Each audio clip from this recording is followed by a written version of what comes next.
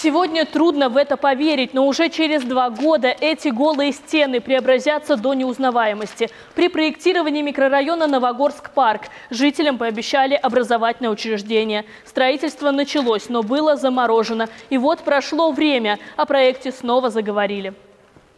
Изначально это двухэтажное здание должно было стать детским садом. Долгое время конструкция пустовала, пока, наконец, удалось получить права собственности на здание и найти новую подрядную организацию. Жители сейчас этого микрорайона, молодые люди с детьми, они вынуждены сейчас детей возить в детские садики на большом удалении. А здесь будет свой рядом э, детский садик, где малышам будет удобно, комфортно. Но самое главное – очень удобно и э, родителям.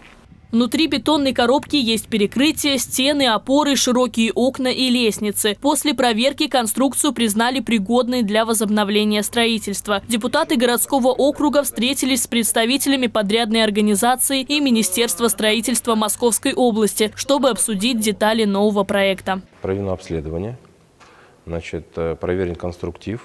В настоящее время э, решаются вопросы планировочных решений, архитектурных решений. Совместными усилиями, в том числе и посредством общественного контроля, родительского контроля, депутатского корпуса, э, я думаю, объект будет доведен до ума. По условиям нового проекта в здании откроют не только детский сад. Здесь также появится начальная школа. В планах построить современный воспитательно-образовательный комплекс на 270 мест. Площадь объекта составляет более 5000 квадратных метров.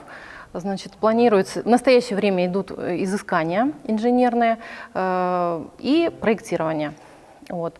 Э, разрабатывается несколько вариантов планировочных решений, объемно-планировочных, которые будут в дальнейшем утверждены Министерством образования Московской области ну, муниципалитетом и заказчиком. Работы начнутся уже этой осенью. Завершить строительство планируют к началу 2026 года. Территория вокруг здания тоже преобразится. Здесь появятся современные детские и спортивные площадки, отвечающие всем нормам безопасности. Юлиана Мазырина, Руслан Сафин. Новости Химки ТВ.